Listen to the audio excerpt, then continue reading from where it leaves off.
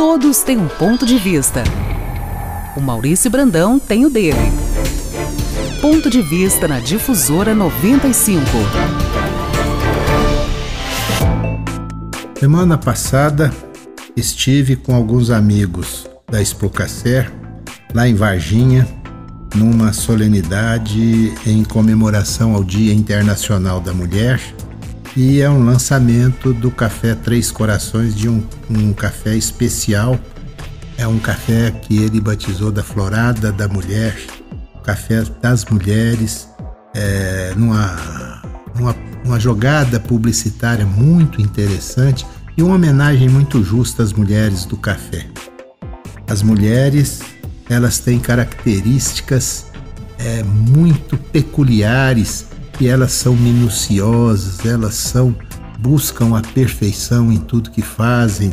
E para os cafés de qualidade, essa perfeição, a busca dessa perfeição é absolutamente necessária, porque senão você não consegue fazer um café especial, um café de alta qualidade.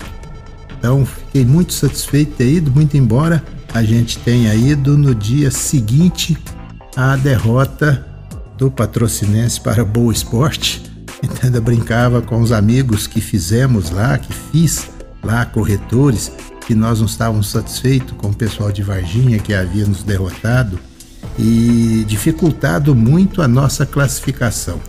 Então, foi uma solenidade interessante, é bom a gente ver como o pessoal do café, produtores, corretores, exportadores, comerciantes de café, estão trabalhando num sentido de fortalecer a cafeicultura, de fortalecer a comercialização do café.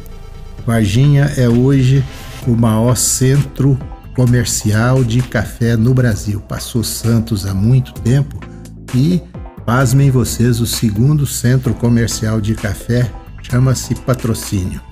É muito orgulho para nós, é muita alegria que eu digo isso para todos vocês. Você ouviu na Difusora 95 Ponto de Vista com Maurício Brandão.